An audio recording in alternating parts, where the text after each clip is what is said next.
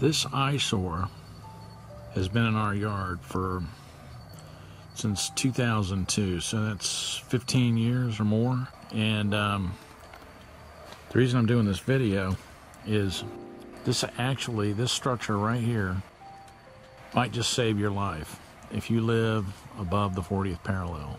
If you live anywhere where there's potentially heavy amounts of snow. It's a geodesic dome.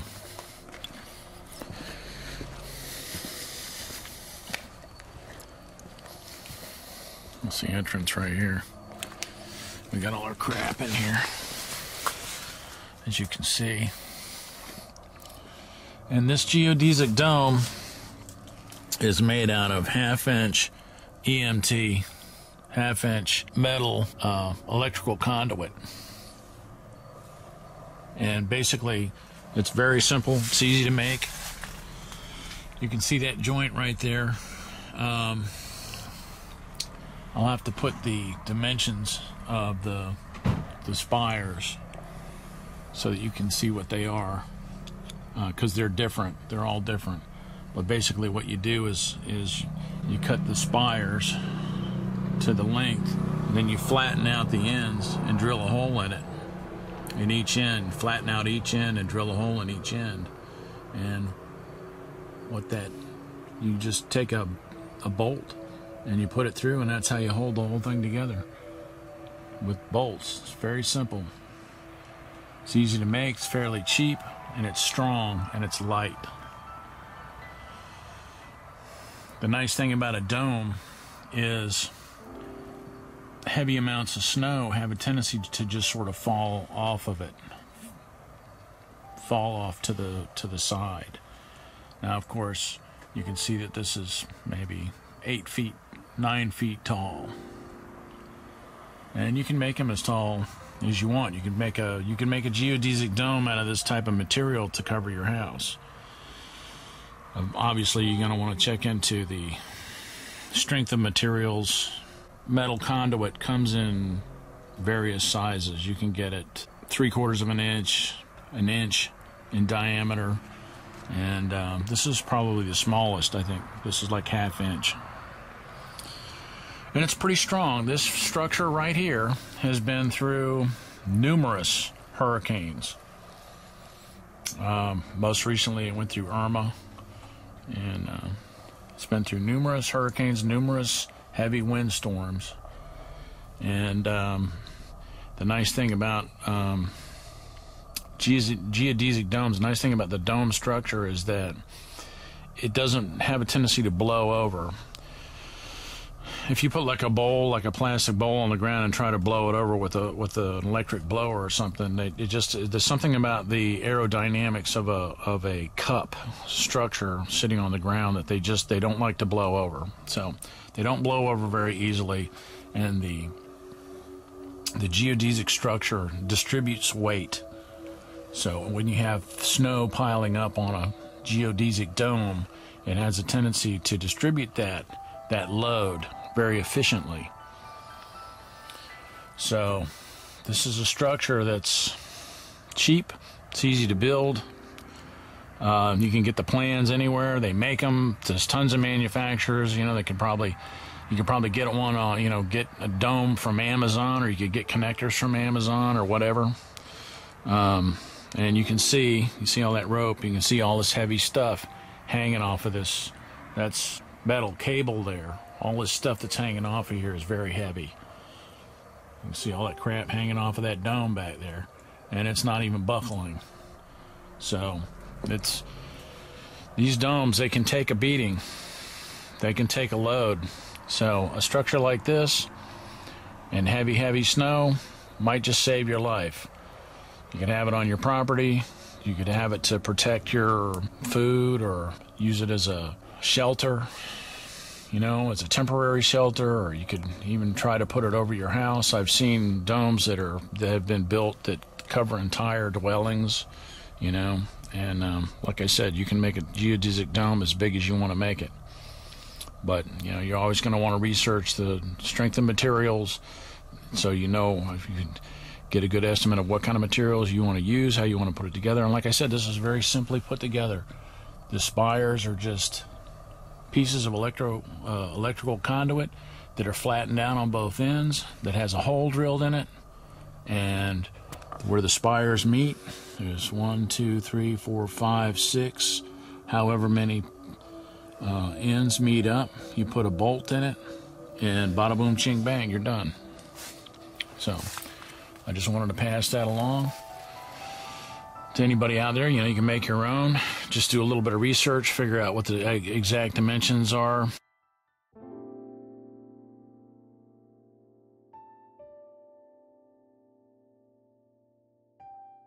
what I did a search for, just do a search for geodesic dome dimensions.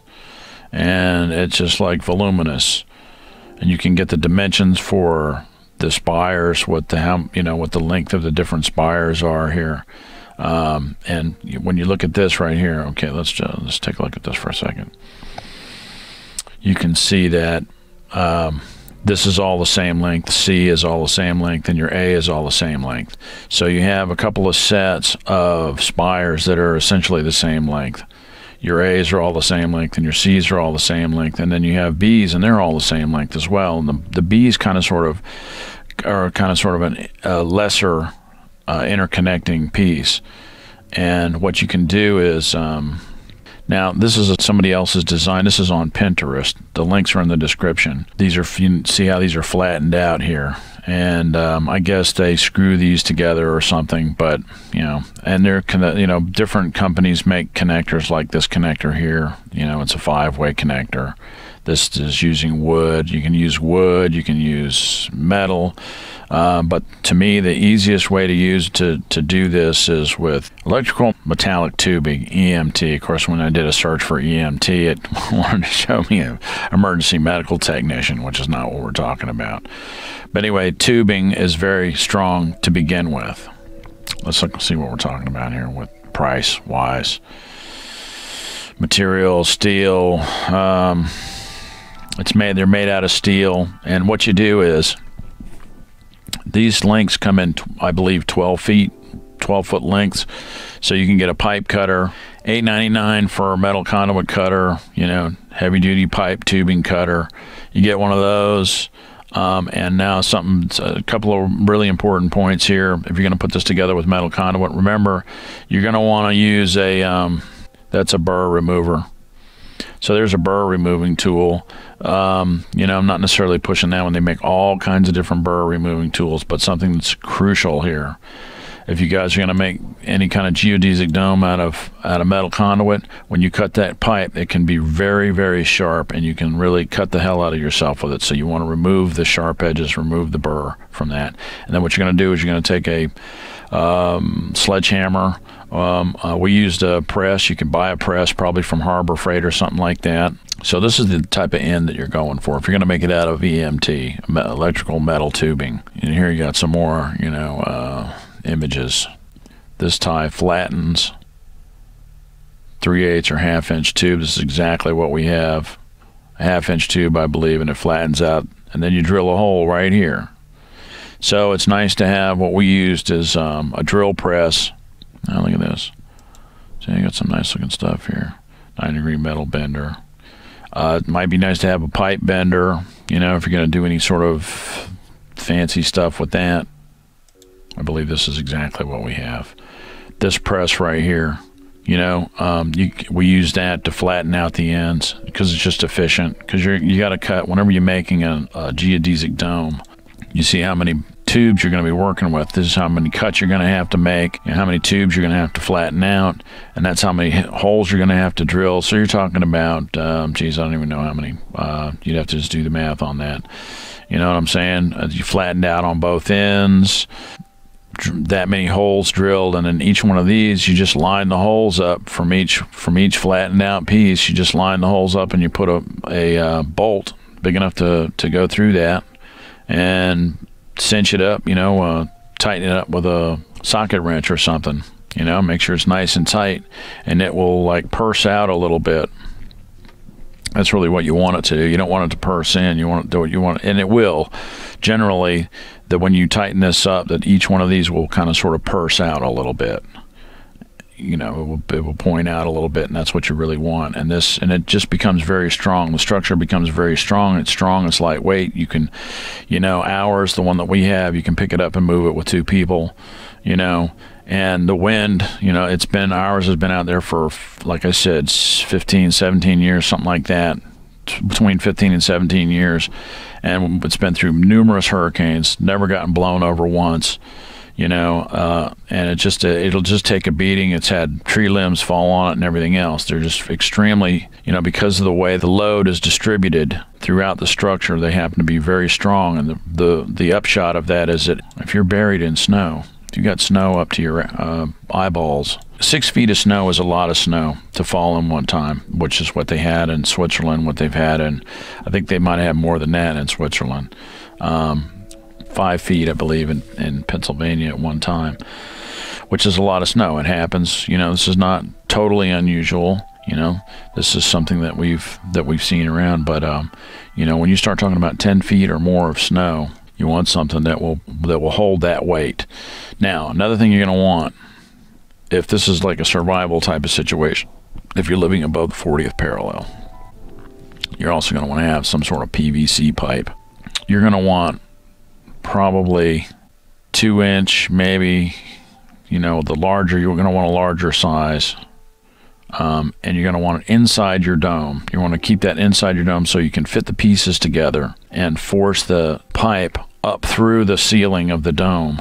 Uh, sounds extreme, but if you're inside here and you've got snow up to here, right, you're going to probably, you may need to have a pipe or something that you can that and, a, and an opening here somewhere in a, a, little small opening up here somewhere where you can take that pipe and you can run that pipe up to the surface so you can get air. And then maybe have some sort of I don't know uh, fitting or something on top of, of your pipe so that it will you know pull air in or have a fan on it or something or some sort of way to get that you know to get that air down in there. Um, the only reason that people suffocate when they get buried in avalanches is because when you exhale, you, the, the moisture from your mouth causes the snow to freeze around your mouth and you can't breathe. So when you have a lot of snow like that, I don't know, it may breathe. You may be able to, you know what I mean? It may, you may be able to breathe through that. You may not, you know, actually suffocate from being buried in the snow if you have a dome around you but um, you know it might be good to have something to stick up you know. Obviously you're going to want to have a cell phone with you or something like that. Some sort of a way for people to be able to you know a loud noise making device of some sort you know whistle um, car horn whatever something that will fucking so people can find you if, if they need to. And it sounds extreme i know. I'm not really you know look hey nobody really knows what's going to happen. But um it's good to be prepared. And this is a fairly, you know, the electrical, making it out of electrical metal conduit, uh, electrical metal tubing is, let's see, these are three bucks a piece, right? For half inch, which is what we made ours out of. It's made, it's steel, hot galvanized finish, you know, gray. That's exactly, this is exactly what we used. You know, you may want to use a larger grade um, three quarter inch or something like that. Even one inch, you could use one inch. It's a little, might be a little harder to work with, but it's stronger. And uh, yeah, and that you know, look, if you're in a place where it's going to be snowing like catastrophic snowfall, you know, it might, you know, might save your life. Like I said, you could build this over your house if you had to. Anyway, that's it. My name is R. Crosby Lyles, and this has been News from the Can. Thanks for watching. See you.